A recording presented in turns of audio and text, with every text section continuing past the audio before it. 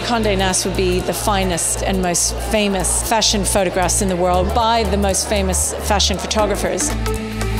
The reason this exhibition is so great is that you have images from the 1920s, you have images from now. that tells you everything that you need to know about an era, about what was happening in society and culture. I'd seen a lot of images that I hadn't before. I think the photography's been really, really great. Really interesting to see the way that fashion is represented.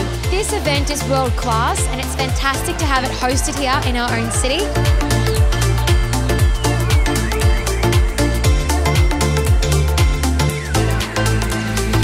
It's really one not to be missed. We're so lucky to have it in Australia.